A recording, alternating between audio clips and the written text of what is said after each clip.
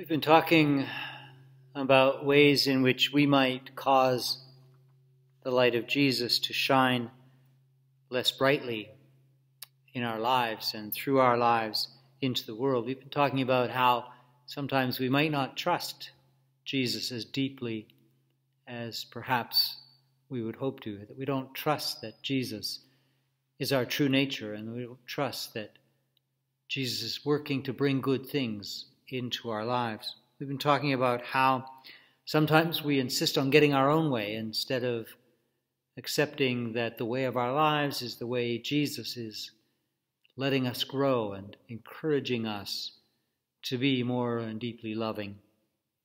We've been talking about how sometimes we might fail to allow Jesus' love to be the first thing in our lives, the most important thing, and we might put other things in first place.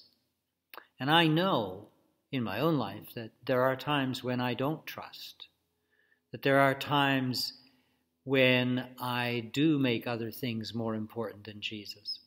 And I know that there are in my life times when I insist on getting my own way. And I don't want things to be the way they are. I want them to be the way I want them to be.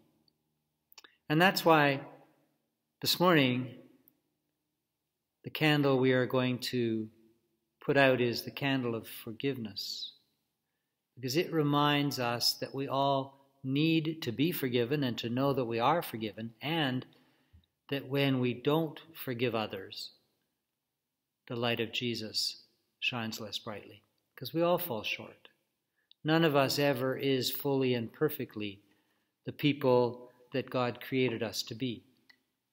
And so we all need to know that we are deeply loved and cared for, and that we can share that love and care by forgiving one another when any of us allow the light of Jesus to shine less brightly in our lives. So let's pray. Jesus, we thank you that you forgive us whenever we fall short, whenever we fail to fully trust, when we put other things ahead of you, when we insist on getting our own way. And we do pray that we might share that forgiveness with others whenever that is needed. Amen.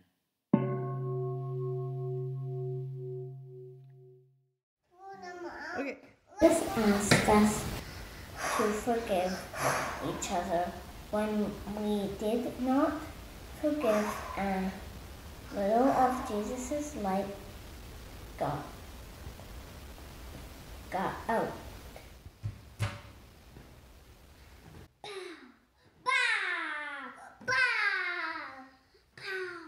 God may we see your true light. and know your love that shines so bright.